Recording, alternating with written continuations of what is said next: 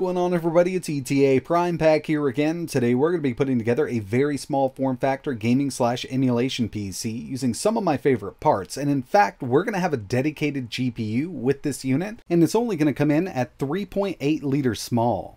So if you watch the channel, you know I love my small form factor builds. With this, like I mentioned, I'm using some of my favorite parts that we've used in other PCs so far, but we're going with the A09 case from Goodisory. This is one I've had my eye on for a little while, and usually when I go with these small form factor builds, I use a Pico power supply, but with those, we have to add a power brick, and this does take up a little more room. But with the A09, we actually have the option to add a flex power supply, and that's exactly what we're going to be doing here. The A09 wasn't specifically designed to run a dedicated GPU, but we're definitely going to make it work here. If we take a look at the back, we've got a single slot, and it's definitely off kilter a little bit from other cases. But with the recent release of the single slot low profile RX 6400, we can make it work with this unit. And it's actually one of my favorite new GPUs that's hit the market. I know a lot of people, you know, kind of think it's a little overpriced, coming in at $150 but I think it does a good job for what it is, and it's perfect for a super small form factor build like this. And when it comes to the heart of this build, the CPU, we're going to be using the Ryzen 5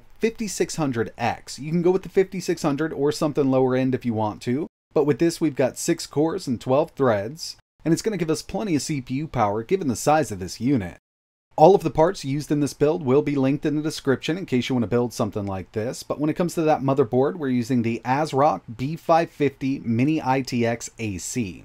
This is a lower cost B550 board. I personally really like it. We've got one M.2 slot here, Kind of basic because we don't have an extra, but that's really all I need with this build because I'm going with a 2TB Fury M.2 NVMe SSD. RAM's going to be covered by 16GB of DDR4 running at 4400 MHz, and to keep this 5600X cool, I'm going to go with a Thermalright copper low profile 47mm cooler. I have used this in the past, it's one of my favorite little coolers for these small form factor builds. I've replaced the orange fan with a black one just to make it a little more unified. And with this setup, everything fits really nicely. We've got total clearance on the VRM and the RAM with this cooler. That's one of the big reasons I like it. This A09 case is definitely going to be tight with a dedicated GPU, and I did have to remove this front USB panel here. Just comes right out with two screws. Just makes it a lot easier to get your fully assembled motherboard in here. With it installed, you can still get it in, but it's going to be a little bit of a tight fit. You do have to wiggle it around a bit, so I just opted to take it out. But the whole setup sits in here really nicely, and obviously we've got room for that flex power supply. This is what the case was designed to use. But uh, you might be asking yourself, where am I going to put that GPU? And we'll definitely get to that in a second. But so far, everything's fitting together really nicely. The next thing I need to do is install that power supply and get everything wired up. And once that's in, it looks something like this. So I'm still not done with the cable management, but it was definitely tight trying to get all those cables behind the RAM up there. I did have to remove both of those boards from the case and then reinstall them after I got everything plugged in, but now it's time to tackle the GPU. So like I mentioned, we're going to be using the Radeon RX 6400. This is a low profile single slot card.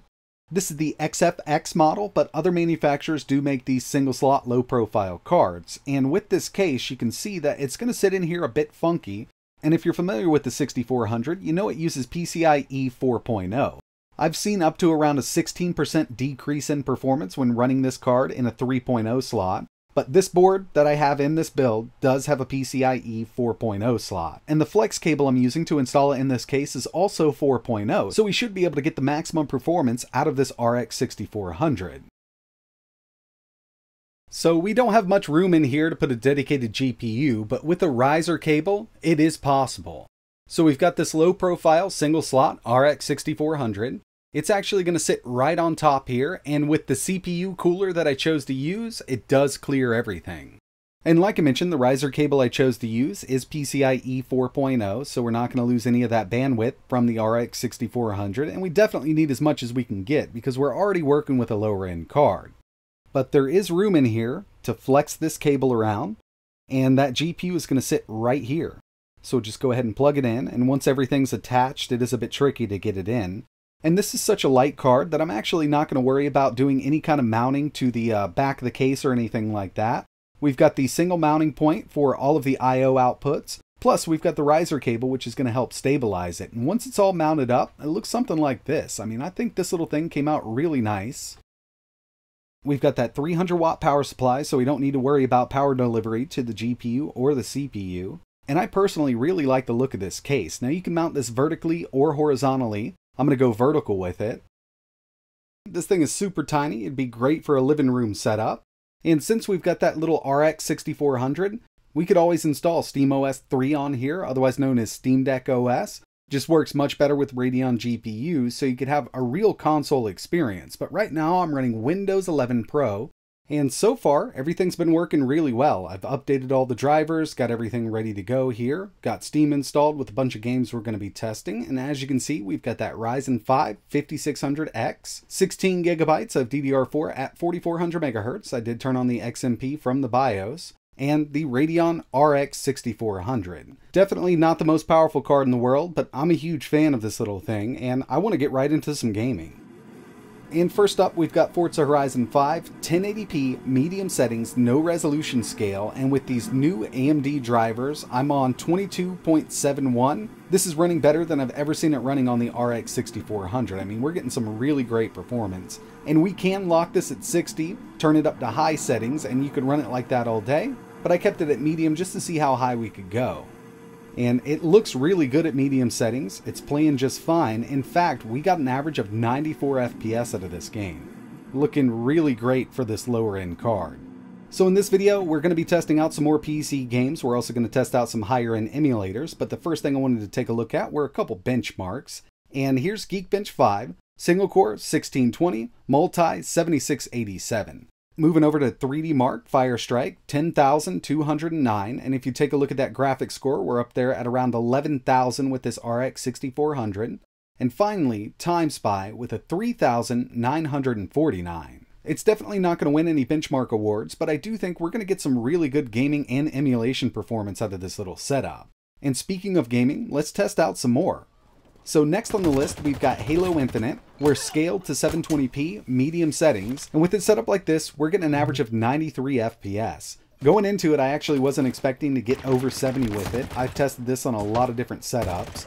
But yeah, this is actually pretty impressive. I know we're scaled to 720p, but this will run at 1080p, locked at 60, low settings if you're into that. I still think it looks great here, even though we're scaled down.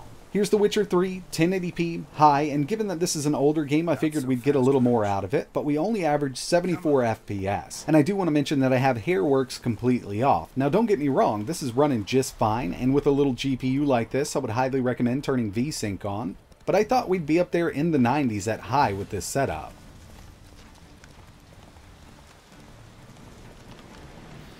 Here's Cyberpunk 2077. We're at 1080p medium settings from the preset, but we have FSR set to quality. So I got really excited about this given the frame rate we're seeing here, but then I started seeing some dips. So if you have to run this at 1080p medium, you might want to take FSR to performance, or you could just turn VSync on to eliminate any kind of screen tearing. Here's Injustice 2, 1080p, very high settings, looking really good. We got a constant 60 here. And when it comes to fighting games on this little GPU and CPU combo, they work out really well. Even something like MK11 at high settings 1080p will run at 60 all day.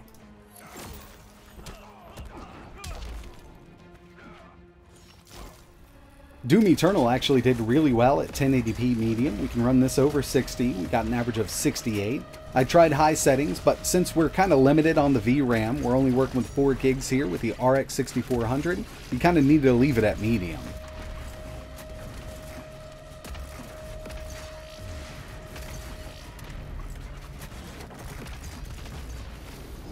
And the final PC game we're going to take a look at before we move over to emulation is God of War. We're at 1080p original settings and FSR is set to performance.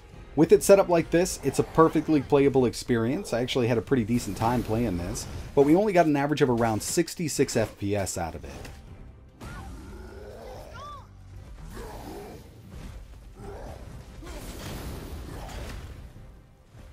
And as for emulation, I've tested the 5600X and the 6400 in the past. This does a really great job. Here we have PS2 using PCSX2 1080p DirectX 11, but when it comes down to it, there are a lot of games that you can play at 1440 and 4K.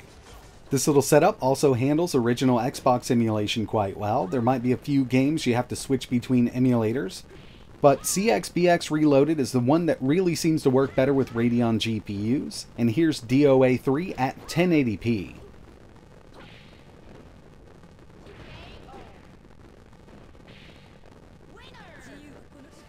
You want to get some Wii U emulation out of the way with Cemu 1080p is no problem. Even with something like Breath of the Wild at 1080p 60 FPS using the Vulkan backend, it's going to run it at full speed.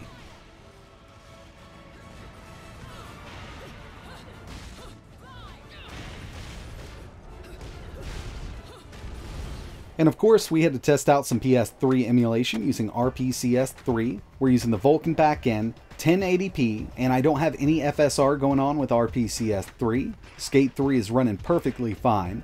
This is the highest temperatures I saw out of the CPU, and you can see that it's pulling up to 75 watts out of this unit. So overall, I think it came out really nicely. I love these small form factor builds, and we're really limited on these cases and GPUs we can use. The RX 6400 is looked down on by a lot of people, but I personally really do like it for 1080p gaming and even 4K emulation. In the past, I've made a video with the 6400 paired up with the 12900K testing out some emulation, and yeah, I mean, 4K emulation is totally possible on this little GPU. And I personally don't like showing it off, but if you're into Nintendo Switch emulation, this does run Yuzu, just like it sits right here at 1080p.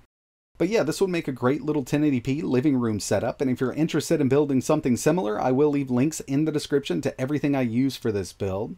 Hopefully, in the future, we can get a more powerful GPU and a low profile single slot form factor. But for now, if you're looking to build a really small form factor PC like this, I could highly recommend the RX 6400. But that's going to wrap it up for this one. If you have any questions or you want to see anything else running on this unit, just let me know in the comments below. And like always, thanks for watching.